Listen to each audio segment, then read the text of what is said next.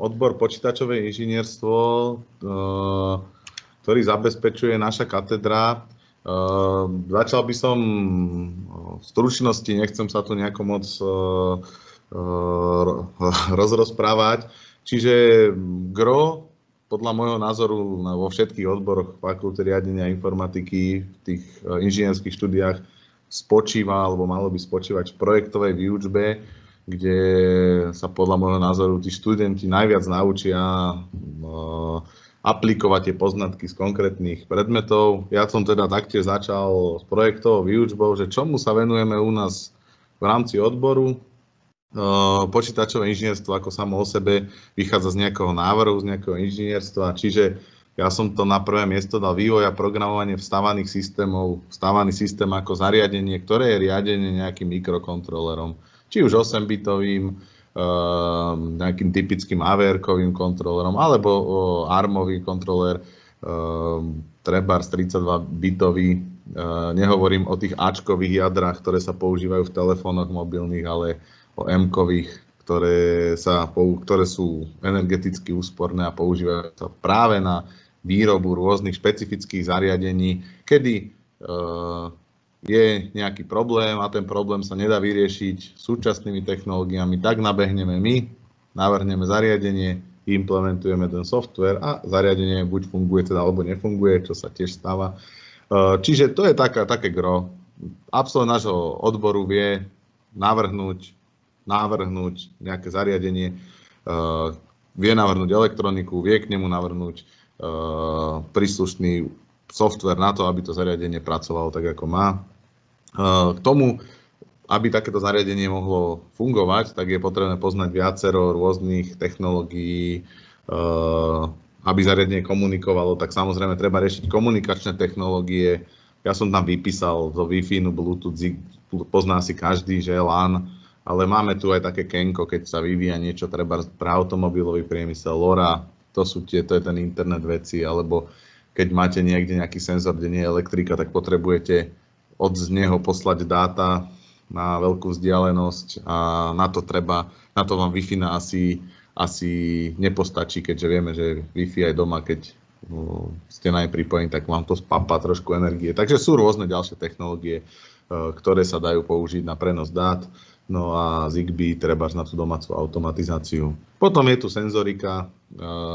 Keď sú nejaké senzory, trebárs zaujímavé, tak je potrebné z nich vedieť prečítať dáta a následne to dáta nejakým spôsobom spracovať.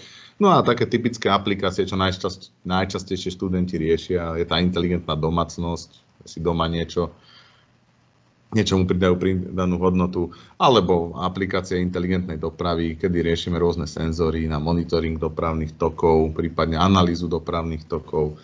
Ale e, zasa stále sa jedná o to, že navrhne sa zariadenie, ku ktorému e, sa potom pripoja nejaké senzory. E, keď hovorím o počítačovom inžinierstve, samozrejme to delíme taktiež, že niekoho viacej baví tá elektronika, že si navrhne nejaké zariadenia, ku ktorým si implementuje software, ale okrem toho študenti teraz v poslednej dobe dosť často upúšťajú od toho hardveru a viac sa venujú softveru, kedy si nájdú nejaké zariadenie, na ktoré nahodia svoj aplikačný software, aplikačné rozhranie, tak aby tomu zariadeniu zasa dali nejakú pridanú hodnotu. Mám tam spomenutú 3D tlač, na fakulte si myslím, že také centrum je asi u nás na katedre, vďaka kolegovi Lukášovi Čechovičovi, ktorý to rozbehol. No a ten už sa okrem tlačenia rôznych výrobkov vyvenuje aj vývoju rôznych technológií, má tu jednu peknú prácu na handprinter a rôzne robotické ruky, ale zasa chcete urobiť robotickú ruku, tak nestačí urobiť iba ten Eh, obal, ale treba spraviť aj elektroniku, nejaké motory k tomu, ovládať tie motory.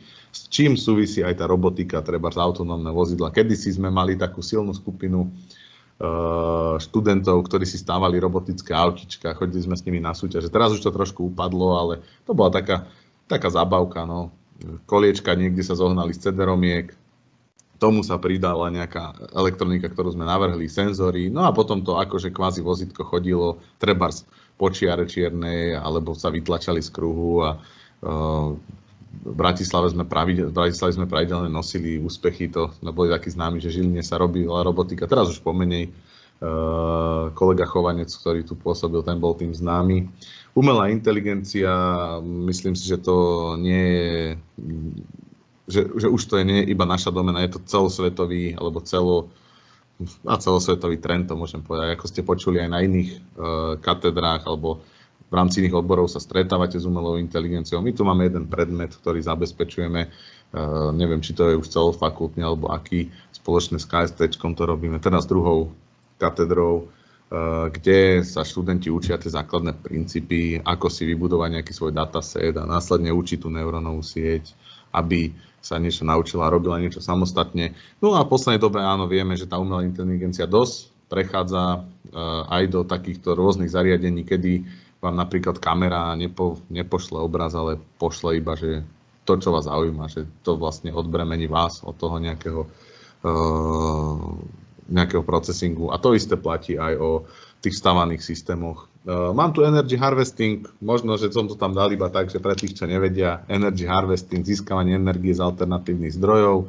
Uh, typicky náš príklad, že kto si chce niekde dať senzor na dlhodobé meranie a vieme, že tá baterka je jedna vec spolahlivá, druhá vec, nie je to rentabilné, keď máte dávať, neviem, niekoľko desiatok senzorov a máte si tam riešiť battery management, tak je dobré vyriešiť si nejaké uh, alternatívy. No a toto, o čom ja hovorím, to, sú, to je využitie jednak solárnej energie, ale aj nejakých termočlánkov, ktoré majú na dvoch koncoch rôznu teplotu a generujú energiu a potom tú energiu treba uchovať, či už do batérie alebo do superkapacitora a to súvisí s návrhom toho zariadenia. Mám tam tri bodky, pretože tých aplikácií je nespočetné množstvo. Myslím si, že ten prehľad som spravil taký obšírny, dostatočný.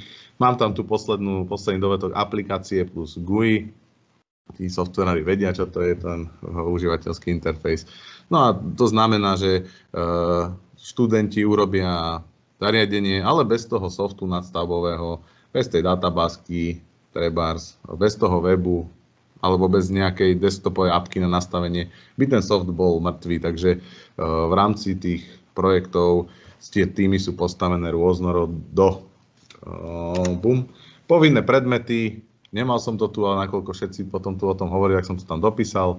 Číslicové spracovanie signálov, úvod do teórie diskrétnych systémov, technické prostriedky riadiacich a informačných systémov, návrh zákazníckých integrovaných obvodov, prenos dát, komunikačné technológie.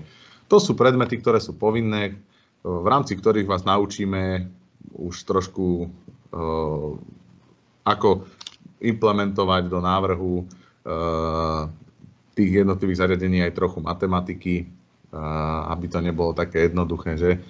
No a potom tam je prenos dát, komunikačné technológie, ako tie dáta nejakým spôsobom modernými prostriedkami preniesť trebárs k nejakému, nejakej jednotke, ktorá s nimi ďalej pracuje. Vyčiernil som tam projekt 1, 2, 3, 4, nakoľko si myslím, že naozaj najviac sa dá naučiť v rámci toho projektu, kedy tie vedomosti z tých jednotlivých, uh, z jednotlivých uh, predmetov viete aplikovať na riešenie vášho problému. Uh, mám tu zo pár obrázkov, čo sa riešilo.